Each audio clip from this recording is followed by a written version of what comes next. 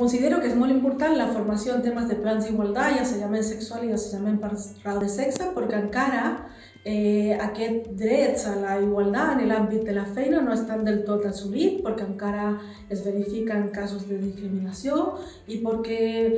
una eina molt important de la prevenció és el coneixement. Per tant, és molt important fer aquestes formacions formar-nos i d'aquesta manera fer una transformació social des de l'àmbit de l'empresa.